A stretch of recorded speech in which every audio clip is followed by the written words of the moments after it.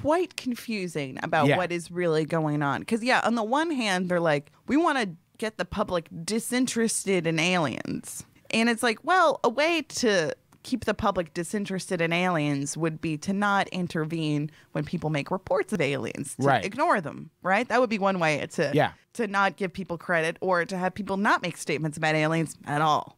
Right. That's a good way to not form panels about it, to not give it any panels that end up with them forming departments with people that go out and do because ri- this Richard Doty guy couldn't have been the only one. no. I mean, Yeah, it seems like if it's just a psychological effect, it's like, can you imagine how many people who are just, you know, paranoid or whatever, or have nightmares or dreams? How many people will probably go to doctors or hospitals and say, Donald Trump's trying to kill me?